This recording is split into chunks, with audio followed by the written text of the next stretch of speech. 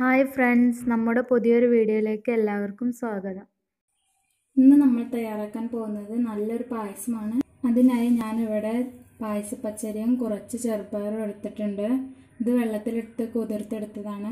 ഇനി നമുക്കിതൊന്ന് തേങ്ങാപ്പാലിൽ വേവിച്ചെടുക്കാം. ഞാനിവിടെ കുക്കറിലാണ് പായസം തയ്യാറാക്കാൻ പോകുന്നത്. ഇനി നമുക്ക് ഈ പായസപ്പച്ചരി ഇതിലേക്ക് ഇട്ട് കൊടുക്കാം. ഞാനിവിടെ രണ്ട് നായ അരിയാണ് എടുത്തിട്ടുള്ളത്. നിങ്ങൾക്ക് ഇഷ്ടത്തിനനുസരിച്ച് ഇതിലേറെ എടുക്കാം.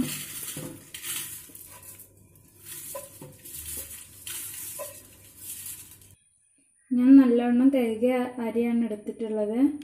ഇനി നമുക്കിതിലേക്ക് ചെറുപയർ ഇട്ട് കൊടുക്കാം.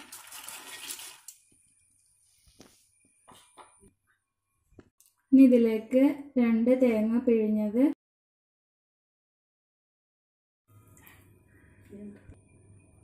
ഇനി നമുക്ക് അരി വേവാൻ പാകത്തിന് വെള്ളം കൂടി ഒഴിച്ചു കൊടുക്കാം. ഞാനിവിടെ രണ്ട് കപ്പ് വെള്ളമാണ് എടുത്തിട്ടുള്ളത്. നമുക്കിത് ഒരു വിസിൽ വരുന്നത് വരെ അടച്ചു വെച്ച് വേവിക്കാം.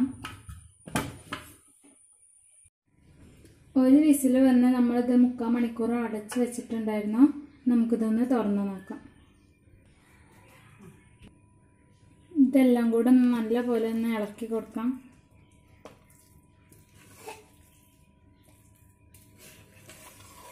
നമുക്കിതിലേക്ക് ഒരു കിലോ ശർക്കര ഉരുക്കി അരിച്ചെടുത്തത് ഒഴിച്ചു കൊടുക്കാം.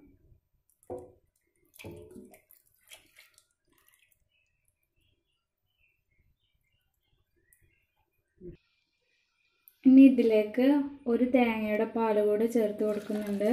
ഇത് ഞാൻ മിക്സിയിൽ അരിച്ചെടുത്തതാണ്. ഇനി ഇതിലേക്ക് പായസയിൽ ഇട്ട് കൊടുക്കാം. ഇത് നിർബന്ധമില്ല. ഇത് പല സ്ഥലത്തും പല പേരാണ് പറയുന്നത്. വയനയില എന്നും പറയും. ഇനി ഇതെല്ലാം കൂടി ഒന്ന് ഇളക്കി കൊടുക്കാം.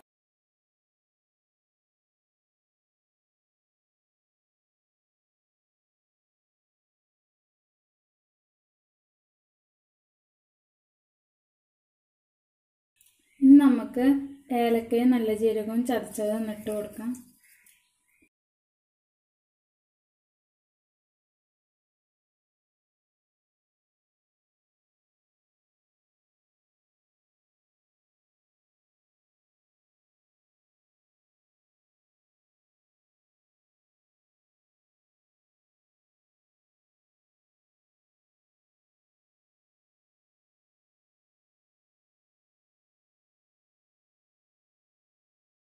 ഇനി നമുക്കിതൊന്ന് തിളപ്പിച്ചെടുക്കാം.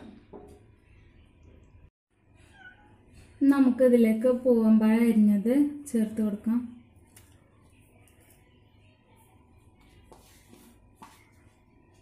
ഞാനിവിടെ മൂന്ന് പൂവമ്പഴമാണ് എടുത്തിട്ടുള്ളത്.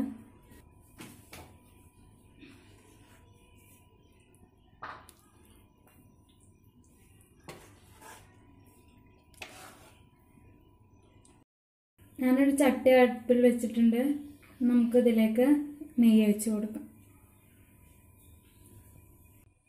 ഇനി നമുക്കിതിലേക്ക് കപ്പലണ്ടി അണ്ടിപ്പരിപ്പ് മുന്തിരി ഇനി ഇവയെല്ലാം കൂടി ഒന്ന് വറുത്തെടുക്കാം.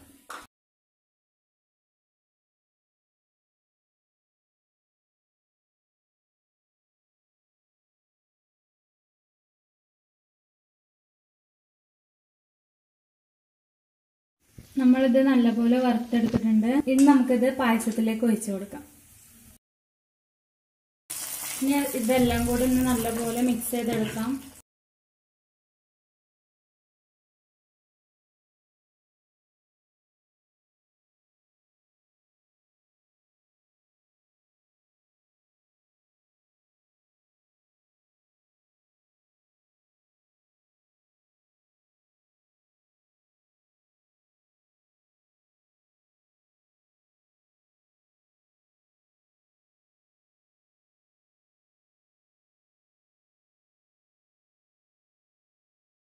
നമ്മുടെ പായസം തയ്യാറായിട്ടുണ്ട്.